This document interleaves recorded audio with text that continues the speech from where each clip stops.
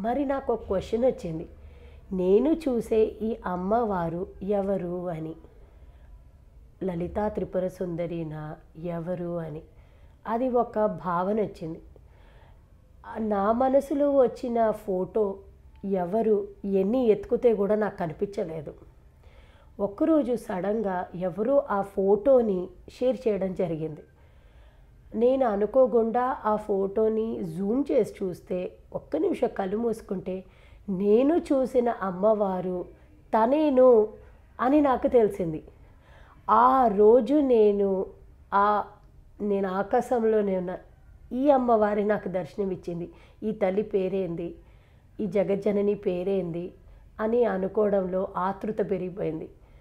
ఎతకడంలో నాకు ఒకటి తెలిసింది. ఏంటంటే తన మతిలో అమ్మవారు మీనాక్షి అని. ఆ రోజు నేను అమ్మవారిని అనుకున్నా అమ్మ నేను ఒక చిన్న గృహిణిని కదా నాలో ఏమి శక్తి లేదు. నువ్వు నా లాంటి గృహిణికి నువ్వు దర్శనం నేను నా జీవితాంతం నీకు అనుగ్రహం. నీ జీవితాంతం నీకు అనుగ్రహంగా నేను. అమ్మ ఎప్పుడు నా తోడుగా ఇలాగనే నా పక్కన ఉండు నా పరివారాన్ని చూసుకో. నీ దగ్గరికి వచ్చి నీ దర్శనం చేసుకోవాలి. ఎప్పుడు వస్తాను? ఏం తెలియదు నువ్వే పిలుచుకొని నాకు నీ దర్శనం నాకు ప్రసాదించు అని అనుకున్నాను. కొంచెం రోజుల తర్వాతన నేను నార్మల్గా సుషుమ్నా క్రియాయోగ మెడిటేషన్ మార్నింగ్ పూట చేసినప్పుడు నేను ఆ ధ్యానంలో ఉన్నప్పుడు నాకు సడన్గా ఒక ఒక విగ్రహం కనిపించింది. ఆ విగ్రహం ఎలాగంటే నల్ల విగ్రహమే. అందమైన అలంకారం చేస్తున్నారు అమ్మవారికి. బంగారం నగలతో ఎరుపు చీర కట్టుకొని పెద్ద బొట్టు పెట్టుకొని ఉంది అమ్మవారు. పక్కన బంగారంతో సింహాసన నాలుగు పక్కలో పెద్ద పెద్ద దీపాలు వెలిగించున్నారు. ఎంత మంచి అలంకారం ఎంత ముద్దుగుంది అమ్మవారు అని అనుకున్నా నేను. ఆ అమ్మవారు ఇంకెవరూ కాదు మధురై మీనాక్షి అమ్మవారు. నాకు అమ్మవారిని ఎప్పుడెప్పుడు చూద్దామా ఎప్పుడెప్పుడు చూద్దామా అని ఆశ. నేను మొన్న గురు పూర్ణిమ పూజకి వచ్చినప్పుడు అనుకోకుండా అమ్మవారు మథురై పిలిచి మీనాక్షి అమ్మవారు నా పరివారం సమేత మా అందరినీ కలిపి ఆశీర్వదించింది. ఆ రోజు నేను నా కల్లార నా ముందర మా అమ్మవారిని చూసినప్పుడు ఏడ్చేశాను అసలు ఆ రోజు నేను. అంటే మనము కళలో అమ్మవారు మనకి దర్శనం ఇవ్వడము సాక్షాత్తంగా మన ముందర అమ్మవారు మన ముందర ఉన్నప్పుడు చూడడము ఎంత అమేజింగ్ ఉంటుందంటే అప్పుడు నాకు అర్థమైంది. సుషుమ్నా క్రియాయోగ మెడిటేషన్ వల్ల మనము మన ఇష్ట దేవతని సంపూర్ణంగా ఇష్టంగా దగ్గరగా వాళ్ళని అనుభవించుకోవచ్చు. మేమిద్దరం అనుకోకుండా సత్యనారాయణ వ్రతం ఇంట్లో చేసుకుందామని మా మనసులో భావన వచ్చింది. రేపు సత్యనావ్రతం చేసుకుందాం అనుకుంటే ఆ రోజు రాత్రి పడుకునే ముందర నేను పరమ గురువులు దివ్య బాబాజీ గారు భోగనాథ్ సిద్ధర్ గారు ఆత్మానందమయ్య అమ్మగారు అందరినీ మా ఇంటికి ఆహ్వానం ఇచ్చాను. అమ్మా మీరందరూ రావాలి. పరమ గురువులందరినీ సంతోషంగా మా ఇంటికి వచ్చి దంపతుల్ని సత్యనావ్రతంకి మాతో పాటు మా పక్కన వచ్చి ఆశీర్వదించండి. మీరు రాకుండా వ్రతం పూర్తి కాదు. మీరు రావాలి అని మనసులో నేను సంకల్పించుకున్నాను. నెక్స్ట్ డే ఈవినింగ్ ఆరో సత్యనారాయణ వ్రతంకి పొద్దునుంచి అంత ఉపవాసం ఉన్నాం ఇద్దరం సాయంత్రం కూర్చున్నప్పుడు నేను మళ్ళీ చెప్పుకున్నా మీరు వస్తున్నారు కదా మీరు వస్తారు నాకు తమ్ నాకు నమ్మకం ఉంది. మీరు తప్పకుండా వస్తారు. మీరు రాపోతే నేను మీతో ఎప్పుడు మాట్లాడనని పరమ గురువులందరినీ నేను అనుకున్నాను. అనుకోకుండా ఆ రోజు సత్యనావ్రతం మొదలు పెట్టేశాము. సత్యనావ్రతం వ్రతం మొదలు పెట్టినప్పుడు అనుకోకుండా ఆ రోజు పైన సత్యనారాయణ స్వామికి పైన పెట్టిన పూలు జారుకుంటూ అంటే ఒక మంచి థీమ్లో డాన్స్ చేసినలాగా జారుకుంటూ కిందకి పడ్డాయి. అప్పుడు నా మనసుకి పూజ చేసుకుంటూ మొదలుపెట్టినప్పుడు నాకు అనిపించింది పరమ గురువులు వచ్చేశారు. వాళ్ళు వచ్చి ఇంక ఇక్కడ కూర్చున్నారు అని అనిపించింది. సత్యనావ్రతం వ్రతం చేసినప్పుడు గణపతి పసుపు గణపతిని మేము పెట్టినప్పుడు పసుపు గణపతిలో పూజంతా అయిపోయిన తర్వాత ఆ గణపతిలో కళ్ళు ముక్కు ఆయన నోరు అద్భుతంగా కనిపిస్తున్నాయి. అసలు నేను అనుకున్న వినాయకుడు సమేత అమ్మవారితో పాటు గురువులు కూడా సత్యనావ్రతానికి మమ్మల్ని ఆశీర్వదించేదానికి వచ్చారు అని సంతోషంగా అనిపించింది ఆ రోజు. ఒకరోజు నేను ఎర్లీ మార్నింగ్ మంచి ఆ, సుషుమ్న క్రియాయోగ మెడిటేషన్ అయిపోయిన తర్వాత నేను నిద్రపోయాను. ఏకో జావన నాలుగు గంటలకి నాకు ఒక మంచి కల వచ్చింది. ఆ కళ ఏంది అంటే నేను మా వారు కారులో మా పిల్లలతో పాటు అలా బయటికి వెళ్తున్నాం బయటికి వెళ్ళినప్పుడు ఓ దారిలో చాలామంది ఒక డా ఎగిరెగిరి డాన్సులు చేస్తున్నారు. మా వారు ఆపారు బండి అక్కడ. పో దా ముందు పోయేదానికి దారి లేదు. నేను మా వారికి చెప్పాను నేను కిందకి దిగేసి ఒక్కసారి చూసొస్తాను అసలు ఎవరు అని అన్నాను. కిందకి దిగేసి వెళ్ళేసి అక్కడ అందరూ మగవాళ్ళు ఆడవాళ్ళు అందరూ ఉన్నారు అక్కడ. అక్కడ నేను నిలబడి ఉంటే నా వెనకాల నుంచి ఒక ఆమె నా పక్కన వచ్చి నా భుజం మీద చెయ్యేసింది. ఆమె నన్ను నా పాపను వచ్చి బంగారు కొండ నువ్వు నన్ను గుర్తుపట్టలేదా అని అడిగారు. నాకు తెలియదమ్మా మీరు నేను ముందెప్పుడు మిమ్మల్ని కలిశానా అని అడిగాను. ఆమె చిరునవ్వు నవ్వేసి నువ్వు నా బంగారు కొండవి దేనికి అన్నికి దిగులు పడతావు? నీ పక్కనే ఉన్నాను కదా నేను అని అన్నారు. ఏమి మీ వారితో పాటు వచ్చావా? పిల్లల్ని కూడా తెచ్చావా? పోనీలే చాలా సంతోషంగా ఉంది నిన్ను చూశా నేను అని నా తల మీద చేయి పెట్టారు. మహా మంచి ఎరుపు చీర కట్టుకొని నిండు నగలేసుకొని అందంగా ఉన్నారు. ఆమె నాకు ఒక చిన్న విషయం చెప్పారు. అమ్మ నువ్వు వచ్చావు కదా పరివారంతో పాటు స్ట్రైట్కి వెళ్ళేసి రైట్ తీసుకొని మళ్ళీ స్ట్రైట్కి వెళ్ళి రైట్ తీసుకో అని చెప్పారు. నేను సరే అని చెప్పాను. అక్కడ ఒక గుడి ఉంది వచ్చావు కదా ఆ గుడిపై దర్శనం చేసుకో అని చెప్పారు. నేను సరే అని చెప్పాను. అంటే యుఐఈ ఒక గల్ఫ్ కంట్రీ. అక్కడ మన హిందూస్తో పాటు ముస్లిమ్స్ కూడా అక్కడ నమాజు పూజా భక్తి ఎక్కువగానే ఉంటాయి. నేను వెళ్ళే దారిలో అంతా డిజర్ట్ అక్కడ చెట్లు తప్ప ఇంకేమీ లేదు. నేను కార్లో ఎక్కి కూర్చున్నాను. నేను ఎక్కి కూర్చున్న తర్వాత నేను మా వారికి చెప్పాను యాండి అక్కడ ఒక ఆవ నాకు అక్కడ ఒక గుడి ఉందంట పోదాం పాండి అని చెప్పాను. మా వారు సరే వెళ్దాము అన్నారు. అక్కడి నుంచి ఆవ నాకు ఇచ్చిన సింబల్ స్ట్రైట్కి వెళ్ళి రైట్ తీసుకొని మళ్ళీ స్ట్రైట్కి వెళ్ళి రైట్ తీసుకుందాం.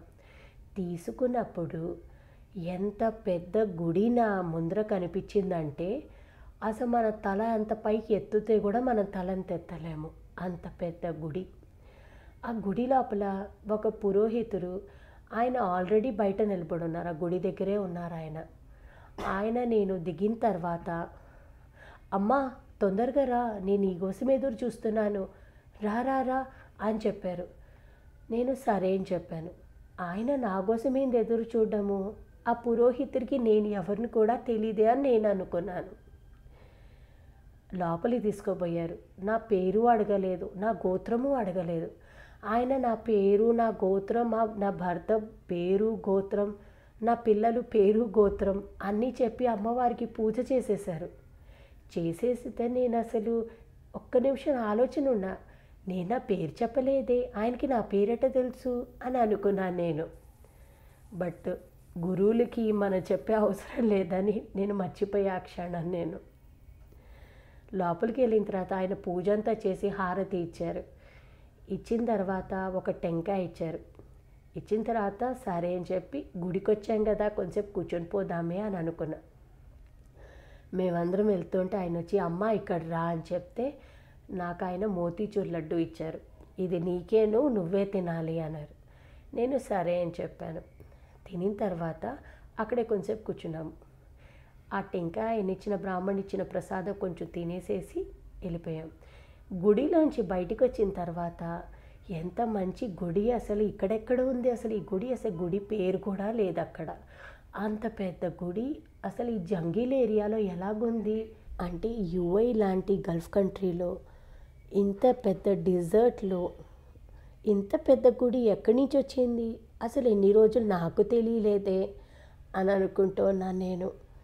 గుడిలోంచి బయటకు వచ్చిన తర్వాత ఇంకా కారు ఎక్కుదామని మా వారు అన్నారు సరే అని చెప్పి వెనకాల తిరిగి గుడిని మనస్ఫూర్తిగా ఒకసారి దండం పెట్టుకున్నాను. తలుపు ఓపెన్ చేసి కారులో కూర్చునే దానికి పోతే గుడి లేదు బ్రాహ్మణుడు లేడు ఎవరూ లేరు అక్కడ వెనకాల తిరిగి చూస్తే గుడి లేదు ఏమీ లేదు. నా ముందర అన్నీ ఎక్కడ మాయమైపోయినాయి అని నేను ఆశ్చర్యం పడిపోయి అసలు. అప్పుడు అనిపించింది అమ్మవారు ఇలాగా ఏ రూపంలో మనకొచ్చి దర్శనమిచ్చారో పురోహితుడితో పాటు తీసుకువచ్చారు ఆ తల్లి? జగజ్జనని అలా జరిగింది. ఒకరోజు నాకు సీవియర్ హెడేక్ వచ్చింది. చాలా తలపోటు. నైట్ అంతా తలపోటుతోనే నిద్రపోయా. నేను పడుకునే ముందర ఆత్మానందమయ్య అమ్మగారికి అనుకున్న అమ్మ దేనికి నాకు ఈ తలనొప్పి? నేను భరించలేకపోతున్నాను. దయచేసి తగ్గించే తల్లి అని అనుకొని అలా నిద్రపోయా.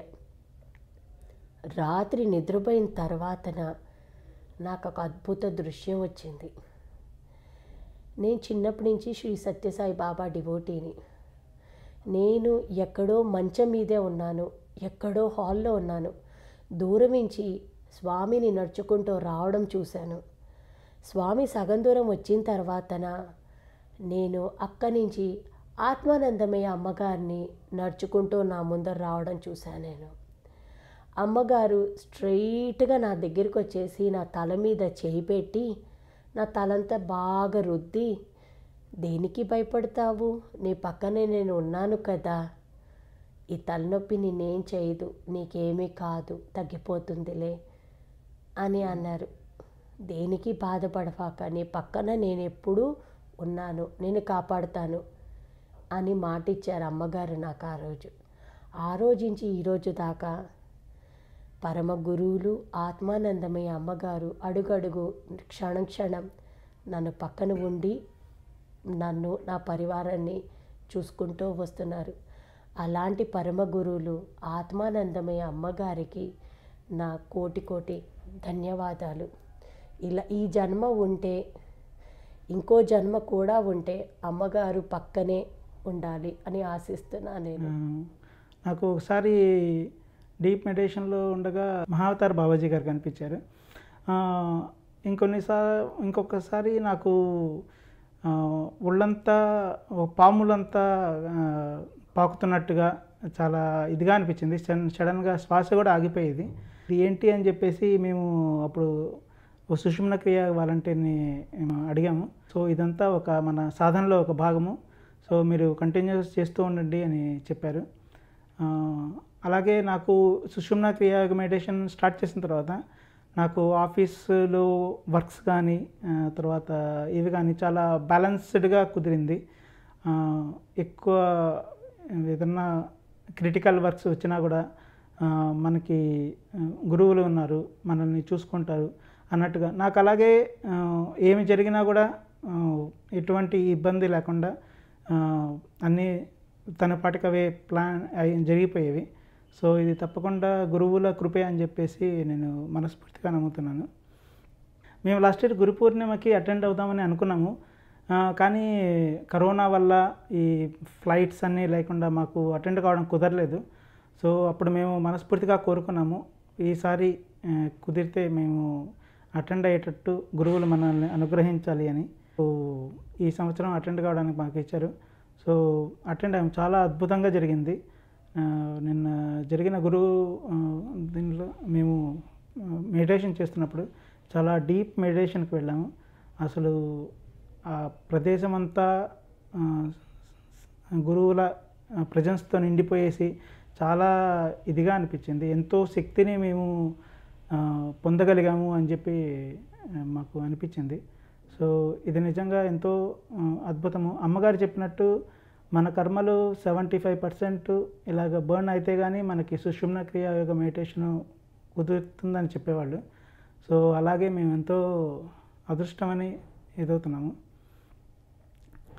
మాకు ఇంత కృప చేసిన గురువులకి మా సదా పాదాభివందనాలు.